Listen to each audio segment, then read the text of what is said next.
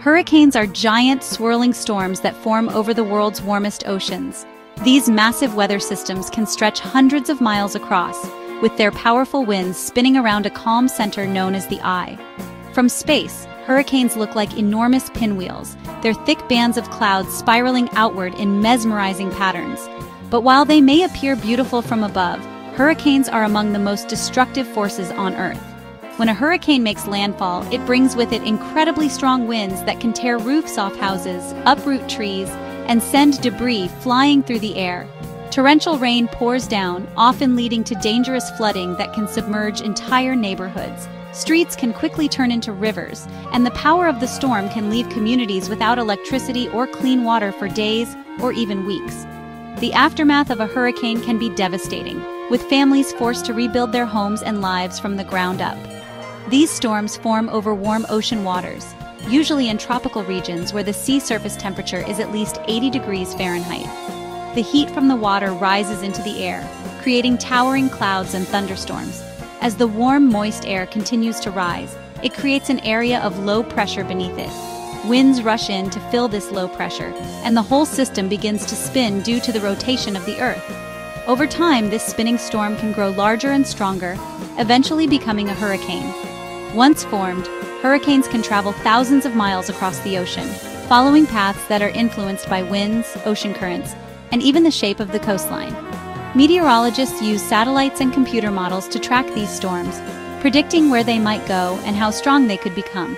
Sometimes a hurricane will weaken and die out over the ocean, but other times it heads straight for land, putting millions of people in its path.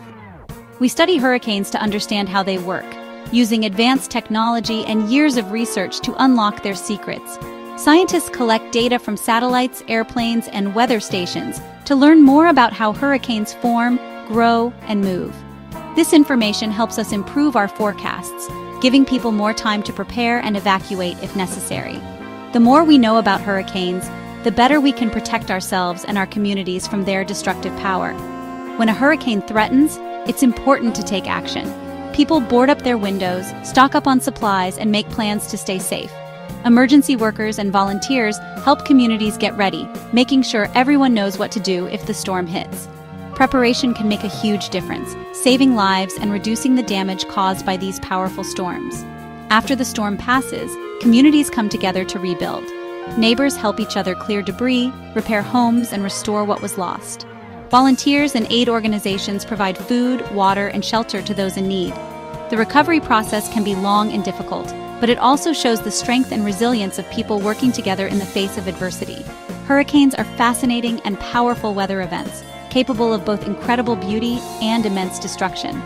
Their swirling clouds and fierce winds remind us of the dynamic forces at work on our planet. Each storm is unique with its own path, strength, and story. They remind us of the awesome power of nature and the importance of respecting and preparing for the world's most extreme weather. The sight of lightning flashing through hurricane clouds, waves crashing against the shore, and palm trees bending in the wind is a powerful reminder of what nature can do. By understanding hurricanes, we not only learn how to stay safe, but also gain a deeper appreciation for the forces that shape our planet. Studying these storms helps us protect our environment, our homes, and each other, ensuring that we are ready for whatever nature brings our way. Hurricanes are among the most powerful and awe-inspiring forces of nature on our planet, and their journey begins in a place you might not expect, the warm, sunlit waters of the ocean. For a hurricane to form, the sea surface temperature must be at least 26 degrees Celsius, or about 79 degrees Fahrenheit. This warmth acts as the fuel that powers the entire storm system, providing the energy needed for its development and growth. Without this heat, hurricanes simply cannot exist. That's why hurricanes are most commonly found in tropical regions, close to the equator, where the sun's rays are most direct and the ocean stays warm throughout much of the year. These areas, often called the hurricane belt, stretch across the globe and are especially vulnerable to these massive storms. The combination of warm water and moist air creates the perfect environment for hurricanes to thrive. As the sun heats the ocean, the water at the surface begins to evaporate, turning into warm, moist air. This air is lighter than the cooler air above it, so it starts to rise, much like steam rising from a boiling pot. The process is constant and invisible, but it's happening all the time over warm seas, especially during the hottest months of the year. As this warm, moist air rises higher into the atmosphere, it leaves behind an area of lower air pressure near the ocean's surface. This low-pressure zone acts like a vacuum, drawing in more air from the surrounding areas. The incoming air also warms up and rises, continuing the cycle and causing the system to grow larger and more organized. The cooler, denser air from outside the low-pressure area rushes in to take the place of the rising warm air. As it moves in, it too is warmed by the ocean and begins to rise, feeding the storm even more energy. This constant movement of air creates powerful winds that spiral inward, setting the stage for the storm's rotation. Each new surge of air that heats up and rises adds to the storm's strength. The process repeats over and over, with more and more warm, moist air being drawn upward, fueling the growing system. The rising air cools as it ascends, causing water vapor to condense into clouds and release even more heat, which further powers the storm. As this cycle continues, the storm begins to spin due to the rotation of the Earth, a phenomenon known as the Coriolis effect. This spinning motion organizes the storm into a massive, swirling system, with a calm center known as the eye. The winds around the eye can reach incredible speeds, and the storm can grow to hundreds of miles across, becoming a true hurricane. Hurricanes don't form at just any time of year. They have a specific season, which varies depending on the region. In the Atlantic, Hurricane season runs from June to November, with the peak in late summer and early fall, when ocean waters are at their warmest. During this time, coastal communities prepare for the possibility of these powerful storms, knowing that the combination of warm water, moist air, and atmospheric conditions can quickly turn calm seas into raging winds and towering waves. Hurricanes are among the most powerful and fascinating natural phenomena on Earth, and their structure is both complex and awe-inspiring. To truly understand how a hurricane works, we need to look at its different parts, each playing a unique role in the storm's behavior and impact. Let's break down the anatomy of a hurricane and see what makes these storms so remarkable.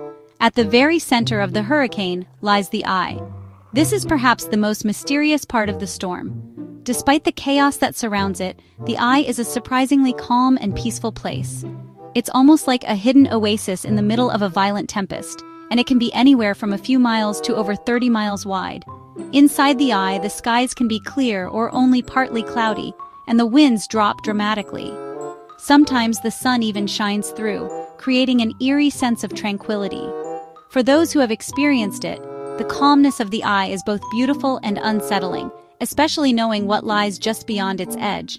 Encircling the eye is the eye wall, a towering ring of thunderstorms that forms the most dangerous part of the hurricane. The eye wall is where the storm's most intense activity takes place, and it's the engine that drives the hurricane's power. Here, winds reach their maximum speeds, often exceeding 100 miles per hour, and rain falls in blinding sheets.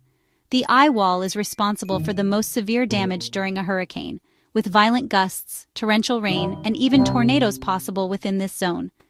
Moving outward from the eye wall, we find the rain bands.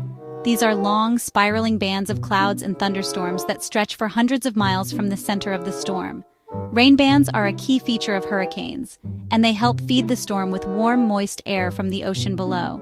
Rain bands can bring heavy downpours, gusty winds, and even tornadoes to areas far from the hurricane's core. In fact, the effects of these rain bands can be felt well before the eye arrives, and they often linger long after the storm has passed. Understanding the structure of a hurricane helps us appreciate both its beauty and its destructive power. Scientists use special tools to measure hurricanes. They use satellites to see the size and location of the storm. Weather planes fly into hurricanes to measure wind speed and air pressure. Hurricanes are given names to help us keep track of them. The names follow a specific list, alternating between male and female names. This makes it easier to communicate about and remember different hurricanes, especially when multiple storms are active at the same time. When a hurricane hits land, it brings all its force with it. The strong winds can uproot trees, damage buildings, and create huge waves. Heavy rainfall from hurricanes often leads to flooding, this is dangerous for people and animals living near rivers and coasts. Storm surge is another danger. This is a rise in sea level caused by the hurricane's winds pushing water towards the shore. Storm surge can cause major flooding in coastal areas. Hurricanes can have long-lasting effects. They can destroy homes, businesses, and crops. Flooding can contaminate drinking water and spread diseases. Animals can lose their homes and food sources, too.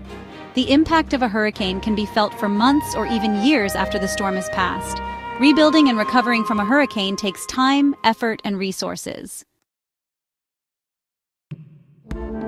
It's important to be prepared for a hurricane. Have a plan for where you will go if you need to evacuate. Prepare an emergency kit with food, water, medicine, and other essential supplies. Listen to weather reports and follow the instructions of local authorities. Remember, safety is paramount during a hurricane. Taking the necessary precautions can help protect you and your loved ones. There have been many powerful hurricanes throughout history. Hurricane Katrina in 2005 caused widespread devastation in New Orleans and the Gulf Coast. Hurricane Andrew in 1992 was one of the costliest hurricanes to hit the United States. These storms serve as reminders of the importance of hurricane preparedness and the need to respect the power of nature. As our climate changes, hurricanes are becoming more intense and unpredictable. Warmer ocean temperatures are fueling these storms, making them stronger and potentially more destructive. Understanding hurricanes is more important than ever. By learning about hurricanes, we can work to mitigate their impact and protect ourselves, our communities, and our planet for generations to come.